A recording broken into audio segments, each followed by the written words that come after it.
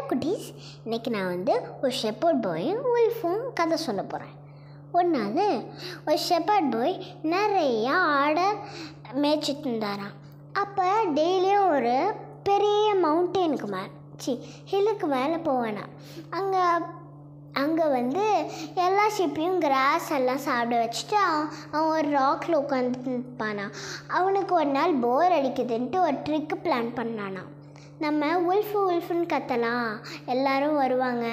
அப்படின்னு காமெடிக்கு பண்ணலாம் அப்படின்னு கத்திட்டு இருந்தாராம். ஓஃப் அப்படின்னு கத்திட்டு இருந்தானா அப்போ வந்து எல்லாரும் வந்து பார்த்தாங்களா ஆனால் உல்ஃபையாக காணாமா? அப்போ அடுத்த நாளும் அப்படியே கற்றுனால எல்லாரும் வந்து பார்த்தாங்களா உல்ஃபியை காணாமா?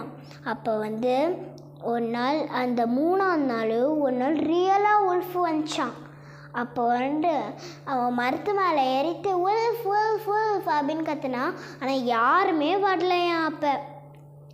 அப்போ இவன் பாட்டுக்கு சும்மா கத்திட்டுப்பான் அப்படின்னு எல்லாரும் நினச்சி சொன்னாங்களாம். அப்போ வந்து அவன் பயந்துட்டு மரத்து மேலே ஏறி அப்படியே தூங்கிட்டானா நைத்தில் அப்போ அந்த எல்லாரும் தேடுறாங்களா அவங்கள.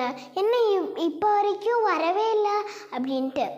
அப்போ வந்து தேடி தேடி பார்க்குறாங்களா அப்புறம் அந்த மரத்து மேலே இருக்காங்க அப்படின்னு ஒருத்தவங்க சொன்னாங்களாம். அப்போ அந்த மரத்து மேலே ஒருத்தவங்க ஏறி அவனை கீழே இறக்கிவிட்டாங்களாம் அப்போ அந்த அந்த- அந்த ஷெப்பர்ட் பாய் சொன்னானா என்னோட ஷீப்பெல்லாம் காணோம் அந்த உல்ஃப் சாப்பிட்ருச்சின்னு நினைக்கிறேன் அப்படின்னு அந்த ஷெப்பர்ட் பாய் சொன்னானா.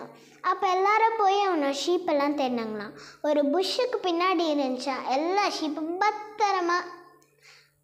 அப்புறம் எல்லாத்தையும் எடுத்துகிட்டு போய் வீட்டுக்கு வைத்தாங்களாம். ஸோ குட்டீஸ் நம்ம விளையாட்டுக்கு கூட யாரையும் சீட் பண்ணக்கூடாது. நம்மளுக்கு ஒரு ரியல் ப்ராப்ளம் வரும்போது யாரும் நமக்கு ஹெல்ப்பே பண்ண மாட்டாங்க. Thank you goodies